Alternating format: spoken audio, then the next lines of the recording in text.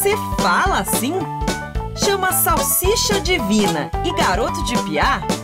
Ajude a gente a aumentar este dicionário. Envie sua sugestão para o site rtctv.com.br barra a Curitiba que eu amo.